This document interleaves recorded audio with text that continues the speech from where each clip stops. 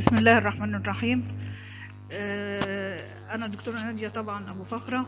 آه، الطلبة بتوعنا بتوع إدارة المؤسسات المالية. آه، في شوية توجيهات. أنتوا طبعا معاكم الكتاب. فهنقول لكم الحاجات اللي مطلوبة إن أنتوا تذاكروها وتراجعوها يعني. آه، بالنسبة ل... إحنا طبعا مادة إدارة المؤسسات المالية.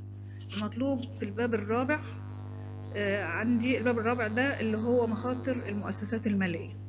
المطلوب أولا تعريف المخاطر المصرفية اللي هي في صفحة 136 دي تعريف ده نظري. وبعدين نمرة اتنين مطلوب دراسة مخاطر الائتمان اللي هو التعريف بتاع مخاطر الائتمان. وبعدين عندك المثال المحلول اللي في صفحة 139 تل... آه... تلاتة هتتعرف برضو أو تذاكر مخاطر رأس المال.